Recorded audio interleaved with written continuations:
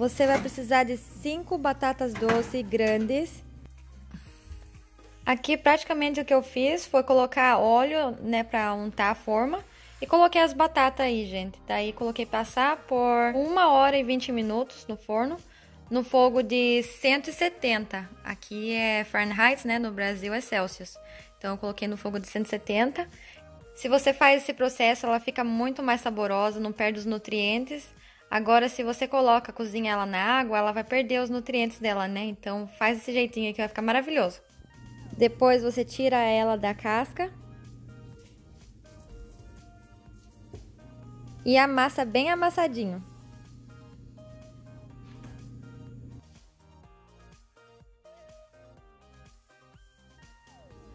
Então, pessoal, agora a gente vai adicionar aqui a manteiga sem sal, o açúcar mascavo,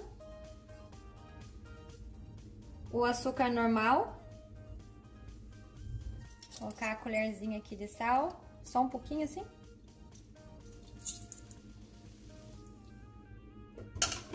Agora a gente mexe tudo isso daqui e não coloca o ovo ainda, gente, porque se colocar o ovo aqui, a batata tá muito quente, vai acabar fazendo com que o ovo cozinhe um pouco aqui, né? Então a gente vai reservar isso daqui, depois a gente adiciona o ovo, tá bom?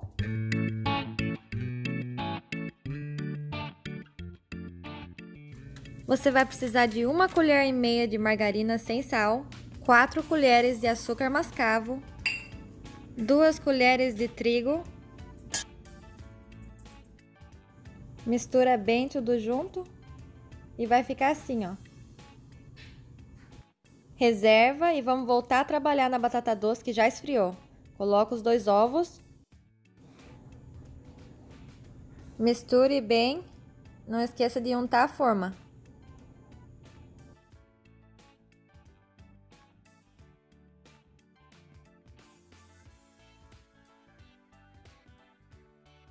Depois de ajeitar toda a massa na forma, jogue o streusel por cima.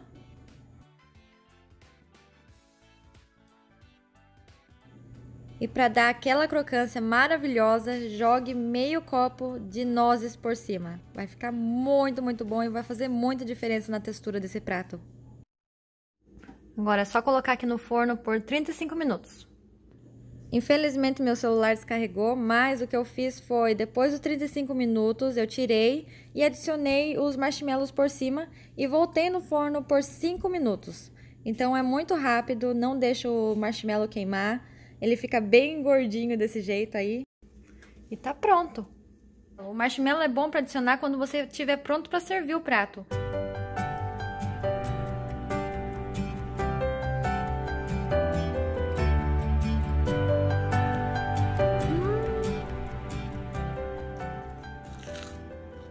Fica crocantinho um pouquinho. Então chegou a hora da verdade, gente. Escutou isso, a crocância? Tá quentinho, acabei de tirar do forno. O cheiro é maravilhoso, cheiro a Natal.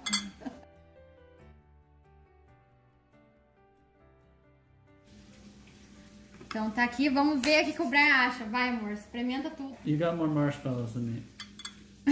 é porque eu tava comendo. eu tava pegando os marshmallows. Tá crocantinho. Pronto. Tá melhor assim? Vai, vai. Hum. Hum. Hum. Eu acho que tá maravilhoso. O sabor da batata doce aqui é maravilhoso. Tá. Não, não tá quente. I like the crunch. Você gosta do crocante? It's good taste. É bom o sabor? Mm -hmm. Você acha que eu posso servir isso no Thanksgiving? Mm. I think so. You put quê? honey. You put honey in there. Não. Não tem. Brown sugar. Prontinho. Gostou, amor? Gostei. Gostou? Que bom, que bom. Fico feliz.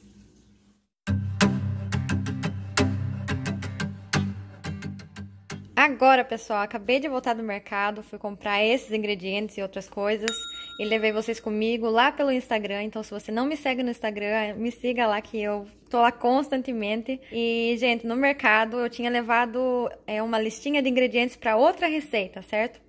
Chegando lá, eu vi que tava ficando muito complicado, porque eram os ingredientes que eu nunca usei na minha vida. Então, eu lembrei que me falaram que atrás desse potinho aqui tinha uma receita, ó. do que eu quero fazer, né? Que é chamado Green Bean Casserole, o nome desse, desse prato aqui, que é de vagem, né? Então, eu vou estar tá usando essa receita aqui, vamos ver como que vai sair isso aqui. E essa é uma receita bem facinho, já ouvi falar, olha pra vocês verem como é pequenininho, só vai quatro, cinco ingredientes aí, ó. E um dos ingredientes que é bem interessante é esse aqui, ó, que é o creme de cogumelo, né? E nessa receita é o primeiro aqui, ó. O primeiro ingrediente é uma lata disso aqui.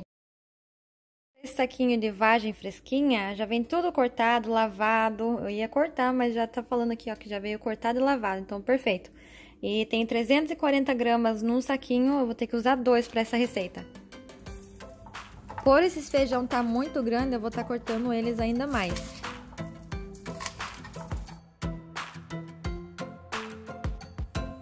Você vai precisar de um copo de leite.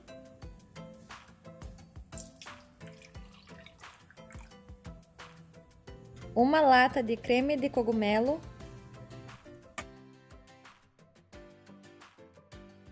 Eu sei que parece bem estranho, mas o gosto disso aí é muito bom, gente. Daí mistura bem essa mistura, coloca uma colher de sobremesa de pimenta do reino e joga no feijão. Você vai precisar daí de um copo e meio de cebola frita, que seria aqui ele já vem preparado, né, no, na embalagem, mas é só fritar a cebola.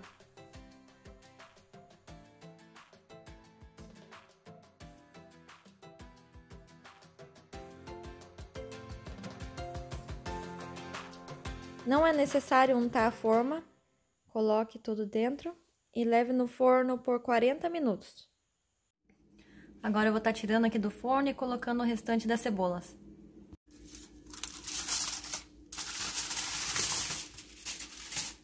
Tá borbulhando aqui, ó, como vocês podem ver, tá bem quente.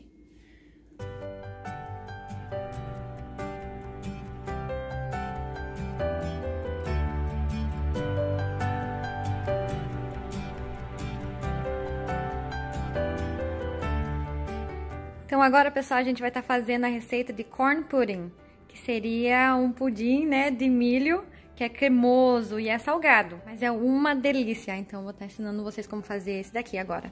Então vocês vão precisar de whipped cream, que seria aquele creme que faz o chantilly, sabe? Fermento em pó, sal, maple syrup, que é tipo um melzinho assim, ó. Não é necessário, gente, ele só vai dar um gosto diferente na receita seis ovos, 454 gramas de milho, você vai precisar de dois pacotes, esses daqui são congelados, pode ser o fresco também. Vai precisar de leite. Eu tive que converter do inglês para o português, né, a medida da manteiga, e em inglês é dois terços. Então, vocês vão precisar de 10 colheres de manteiga, mais duas de sobremesa, para formar essa medida aí. Agora, no modo de preparo, vocês vão colocar um saco e meio de milho dentro do liquidificador. Reserva a outra metade do milho, tá bom? E agora vocês vão colocar praticamente todos os ingredientes, exceto a manteiga e o creme de chantilly, tá bom?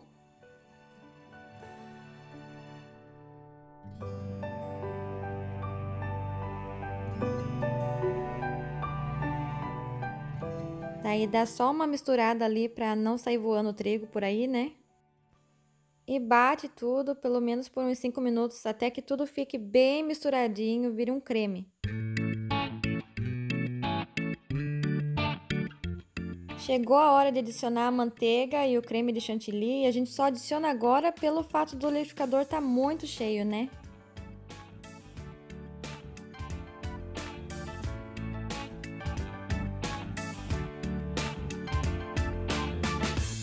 E não esquecendo que temos o milho ainda, né, para adicionar. Então coloca o resto do pacote para você sentir os pedacinhos de milho. Agora, se você não quiser, você pode bater tudo também, tá bom? É preferencial.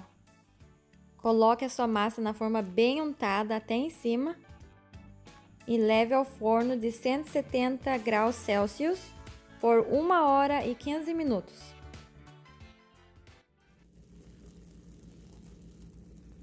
Ela tá borbulhando. Quando você for tirar, é, faça aquele teste do palitinho de dente. Se sair limpinho o palito de dente é porque tá perfeito. Eu sou suspeita para falar porque eu amo qualquer coisa de milho, mas ficou muito, muito bom, gente. Eu recomendo vocês fazerem. Essa foi a minha receita favorita de todas as que eu fiz. Então é isso, pessoal. espero que vocês tenham gostado de ter aprendido essas receitas tradicionais aqui dos Estados Unidos de Natal, de Dia de Ação de Graças. Quero saber de vocês qual vocês fariam, deixe nos comentários. E se você não é inscrito aqui no canal ainda, se inscreva, deixe seu joinha e eu vejo vocês no próximo. Tchau!